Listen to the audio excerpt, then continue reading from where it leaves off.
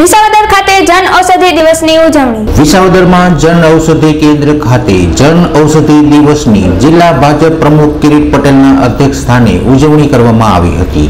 તેમજ ઓસમાણભાઈ હમીરકાએ ઔષધિ કેન્દ્ર દ્વારા મળેલ દવાના લાભની વાત કરી પ્રતિભાવ આપ્યો હતો. કાર્યક્રમની આભાર વિધિ નરેન્દ્ર કોટિલાએ કરેલ હતી. કાર્યક્રમનું સંચાલન સંજય રાઠોડે કર્યું હતું.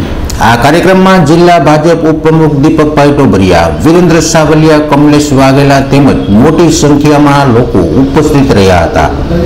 જન ઔષધિ કેન્દ્ર ખાતે માનનીય વડાપ્રધાન શ્રી નરેન્દ્રભાઈ મોદીજીનું જે સપનું હતું કે સાતમી માર્ચે જન ઔષધિ દિવસ તરીકે ઉજવાય, એ માટે આજે ભારતીય જનતા પાર્ટી શહેર વિસાવદર અને તાલુકાના માધ્યમથી આ કાર્યક્રમની અહીંયા રૂપરેખા આપવામાં આવી છે.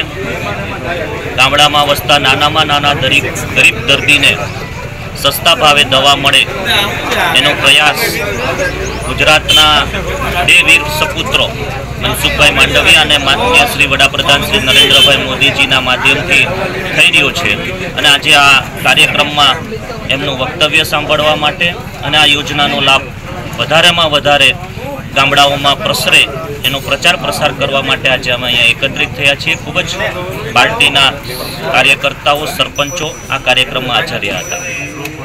ઉમેશ ગેડિયા જય સૌરાષ્ટ્ર ન્યૂઝ નેટવર્ક, વિસાવદર.